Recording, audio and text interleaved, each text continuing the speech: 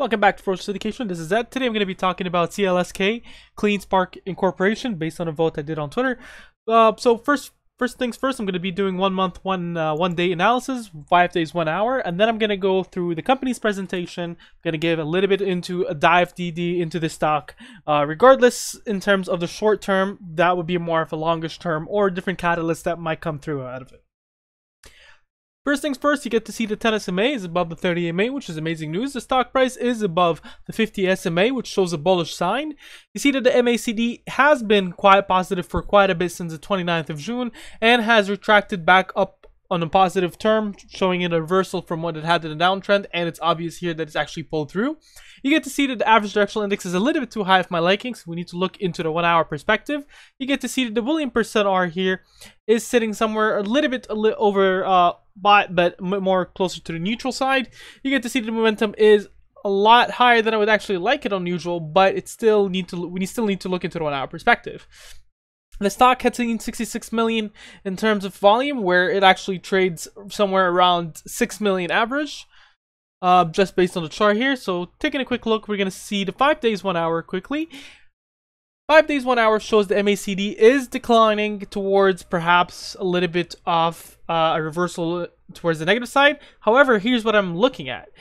The times where it actually has declined something similar to that, it either did not decrease much in price, or it just shot back right up in the morning. But this one was mainly because of a PR. But I'm going to be showing you a little bit of the different catalysts coming through that could change that into towards a positive direction. You get to see the stock right now is a little bit oversold.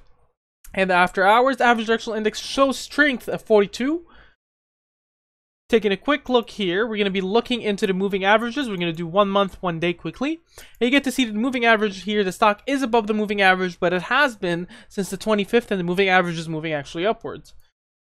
In terms of the, the, trend lines, I would consider this to be where the channel is actually operating. And you get to see the stock price, in case if it actually continues to drip, uh, dip down, uh, we're looking somewhere around three, quickly here 316 to 323 somewhere above three dollars and 50 cents in terms of the actual uh, channel although there's a difference in price in there so the channel we might see it actually dip down to the bottom side of the channel. However the 50 SMA and the 200 SMA are both trading above. The stock is going to a bit more towards the neutral on the RSI after being overbought uh, for a little for almost quite a, all day before that massive dip has happened.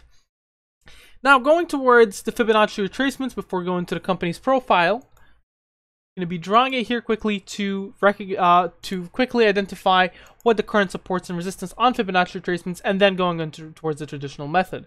So this is around two dollars. You get to see you get to see that it has not really followed Fibonacci retracements nicely, but um, you get to see that the current support uh, is sitting somewhere very close to the 361, so it's sitting currently at a support. The following one would be somewhere around 329 to 324.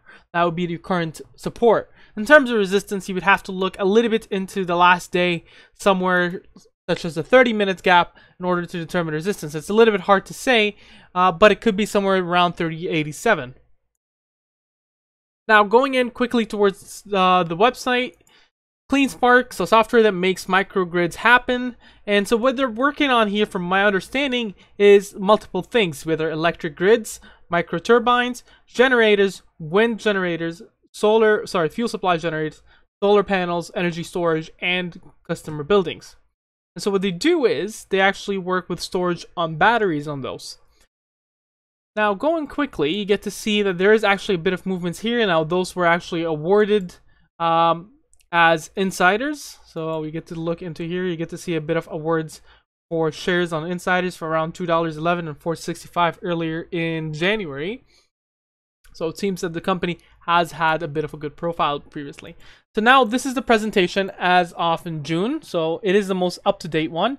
You get to see quickly uh, their CFO, CFO actually has moved up from uh, last October to being a CEO. And so they have a new CFO for 2019, which is not a bad thing.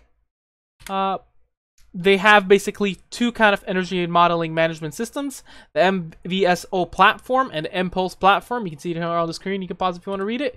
Um, going in quickly here, you can see in industry validation that they're actually 10th on the line for their score. Uh, higher than General Electric, ABB, Eaton, Lockheed Martin, and OETI. So there's a lot of gap in there in the market where they can actually still uh, improve a little, but you get to see that their overall total score is really close towards high 60. Oh well, sorry, to the lower 60s. So market opportunities, they are looking for expansions here from 3, 3.5 gig uh, gigawatts to 20 gigawatts, uh, with nearing around 40 billion growth rate from 20 to 2029. I'm going to show you that in a second. Uh, quickly here, you get to see that their sales are actually aiming for 222% increase from 4.5 million in 2019 to 10 million in uh, end of 2020. So that could be good news in terms of earnings. You get to see as well here quickly that they have uh, they've completed a uh, acquisition of P2K Labs so P2K Labs, um, for basically four different things: increase top line revenue and profit margins, strengthen management team, turns cost uh, centers such as marketing, design, and, and engineering into profit centers, enhances CleanSpark and software service offerings. Uh, now they do basically, from my understanding, is hardware towards softwares and everything in between. Now, in terms of different, uh, in terms of the cash they have on hand, is around 4.5 million. Um, and taking a quick look here, you get to see that the actual projected uh, is 10 million with an increase of around 100% per year following that. Um, and there was a bit of a look here quickly. I'm just trying to pull it up. In terms of their total liabilities, you see that they have around 10, closer to current liabilities at around 4.6 million. So their cash in hand looks to be very close to there. Uh, in terms of the actual uh, revenue, seems to be positive. So it's not very much scared about an offering at that point. That's been my DD on the stock. What do you think about the stock? Make sure you mention it down in the comments below. Make sure you share, subscribe, and like. If you'd like, you can follow me on Twitter. My handle down is in the description below, and have a wonderful day.